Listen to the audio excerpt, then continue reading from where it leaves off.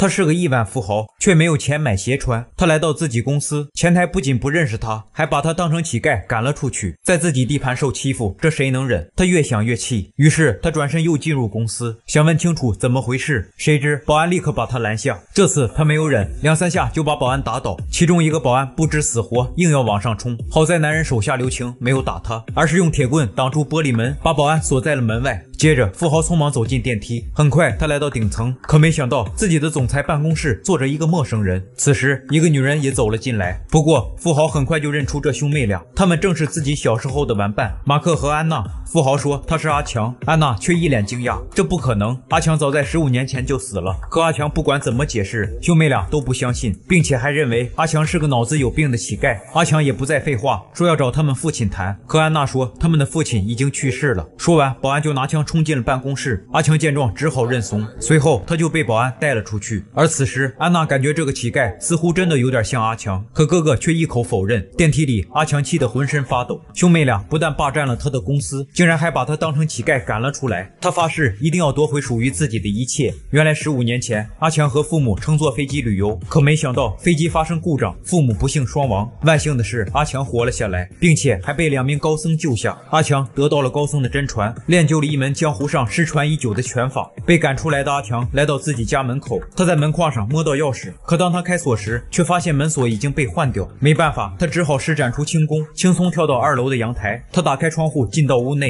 眼。前的一切让他感到陌生，直到阿强看到兄妹俩的照片，他这才明白，原来自己的房子也被他们霸占。晚上，阿强再次找到马克，他钻进马克车里，并表示自己没有恶意，只是想和他谈谈。马克担心车被抢，赶紧坐上副驾。车里，马克掏出手枪威胁阿强下车，阿强瞬间把枪抢了过来，顶住马克的头。马克怂了。随后，阿强为了证明自己，说出了很多他和马克小时候的事，但马克却不承认，还说休想在我这儿拿走一分钱。阿强一气之下将油门踩到三百。迈准备和马克同归于尽，马克吓傻了。